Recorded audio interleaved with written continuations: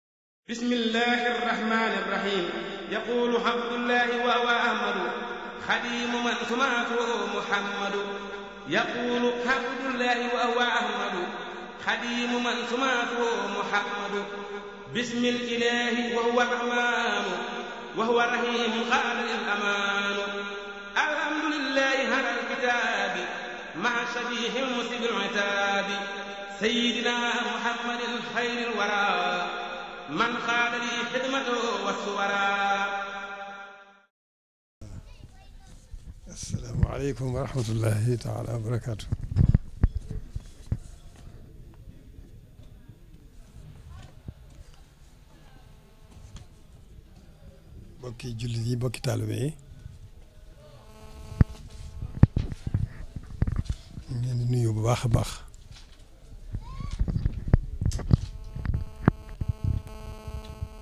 di gën a sant bu baax a baax sunu borom nu boole ak sëriñ bi di gën a sant sëriñ bi wutula am dara loolu moom tey ëllëg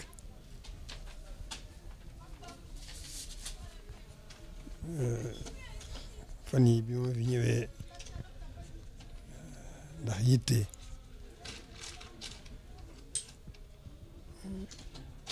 la ma Cheikh Abdallah Fahmi ak Cheikh Souleymane Diouf ci lañ ma waxee ne am na am na muhaadara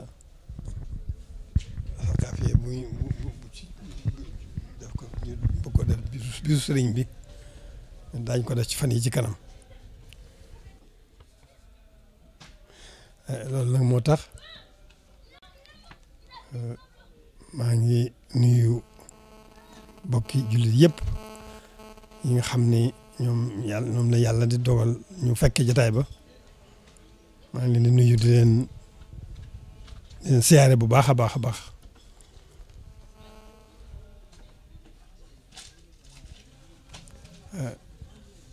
di leen woon sama mbégte itam ci jataay boobu eh, sama mbokki taalu bi di ko taxaw maa ngi ciy sant bu baax a baax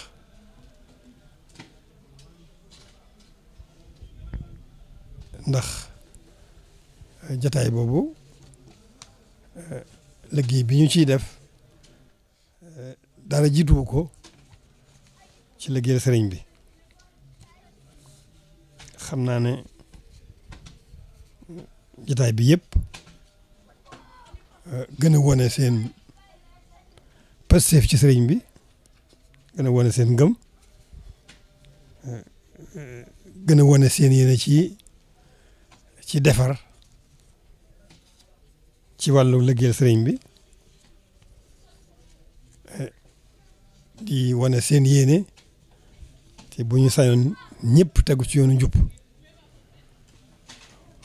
moo tax li nekk fi ñoom ñu yéene ko bokki jullit yëpp yéene ko bokki taalibe bi yëpp def naa loolu rek moo waral eh, jataay bi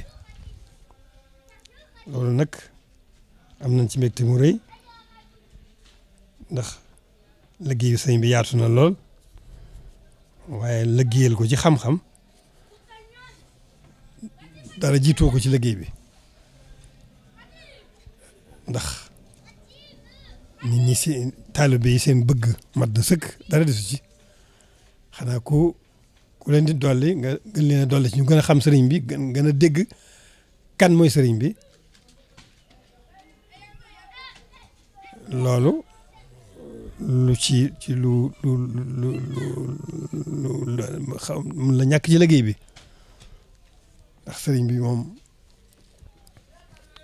bëgg gi moom taw feexal sunu borom la yàlla koy def ci jaamu bu ko soob bu ko defee nag loo ko gën a xam euh, euh, gën a dolliku ci moom loo ko gën a dégg dëgg-dëgg sëñ bi loo gën a dégg dëgg sëñ dëgg-dëgg sëñ bi gën a dolli ko ci moom kon jataay bi loolu rek mel na ne loolu rek moo ko waral eh, bëgg it ñëpp eh, xam ko te nekkal ko ci li mu bëggoon mu ni njub akuk taalu bi rek eh, góorgóorlu ñu tegu ci yoonu njub suñu kem kàttan góorgóorlu ci gën a fonk suñu lislaam góorgóorlu gën a jéem a xam suñu taalibe gën ko fonk gën ko mën a rafetal loolu defe naa moom rek moo waral jataay bi kon ñoo ngi ciy wane suñu mbégte bu baax ndax jataay la boo xam ne bu sañoon daan ko fekke ndax xam nañ ne ku ko fekke rek eh, da nga ci jëlee njariñ njëriñ loo xam ne dana baax ci sa dunduk adduna dana baax ci rawatina sa dunduk alaxira loolu moo tax ma mébatoon lool ci fekk ko waaye nag eh, xëy na gàllankoor yi la yàlla dogal waaye daan fi bàyyi suñu xel daan fi bàyyi suñu xol ànd ko yéen ñëpp eh, di ñaan nag bu baax yéene ji nga xam ne moo tax ñi ko ñi jóg di ko taxaw eh, yàlla bàyyi leen fi te may leen wér ak kattan kon ñu àggale seen yéene ci liggéeyal sëriñ bi sëriñ bi nangul leen liggéey boobu noo ngi ñaan bu baax a baax a baax eh, suñu borom doon leen bu baax a baax a baax doon leen ci sëriñ bi gën leen a may kattan seen lislaam gën leen a xam ngeen gën a xam seen ak taalu bi mooy lan bu mën koo gën a jafe bu baax a baax a baax loolu rek moom lañ bëggal suñu bopp moom lañ bëggal mboolem mbokki jullit yi rawatina mboolem mbokki taalibe yi loolu rek moo doon kàddu yi nga xam ne ñoom ñi nga xam ne ñoo yor taxawaay bi amoon nañu mébét ci kaw ma wax kàddu yoo xam ne dana mën a ubbi jataay bi kon nag noo ngi nuyu ñëpp di saare ñëpp di sant ñëpp ñaanal bu baax a baax kenn ku ne xam na la mu bëgg waaye su lu mu ko xamoon suñu borom moo ko gën a xam maa ngi ñaan suñu borom euh, defal leen seenu bëgg defal leen ca ndamal Serigne Touba defal leen ca barkeb Serigne Touba bu lépp xaj kon jërë ngeen jëf. Nous avons l'honneur de recevoir Serigne Mountakha et Serigne Bass Abdou Khadr dans la maison de Sirine Saliou Mbake à Taverny qui est un foyer d'islam que Sirine Saliou a acheté pour faire rayonner l'islam et le mouritisme en Europe et nous contribuons à cette œuvre.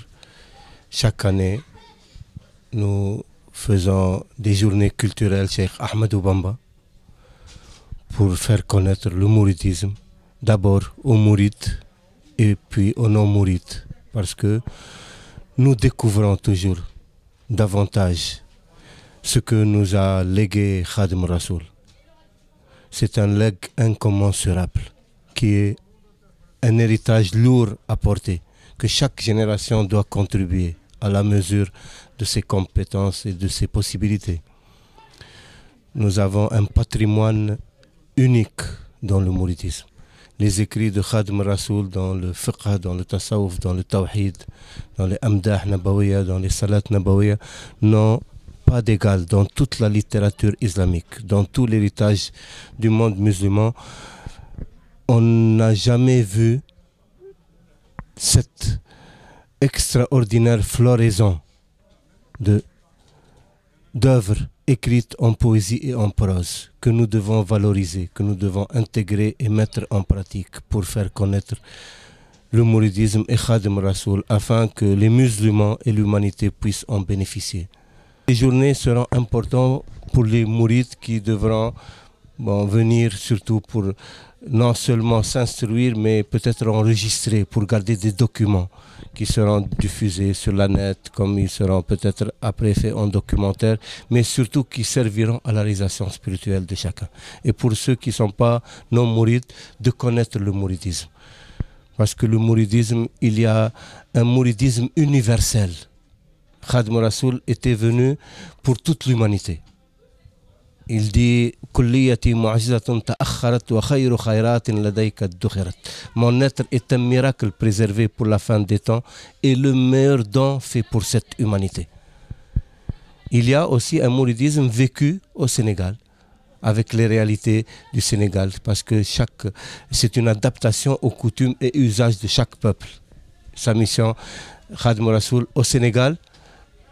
elle est plus